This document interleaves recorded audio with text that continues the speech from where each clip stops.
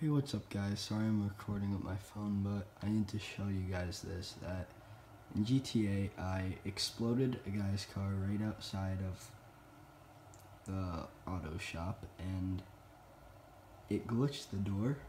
So now you could open it. I killed the guy, the worker inside, and I'm inside the building without a car and you're not like allowed to be. This is like really cool actually. I never knew you could do this. That's crazy.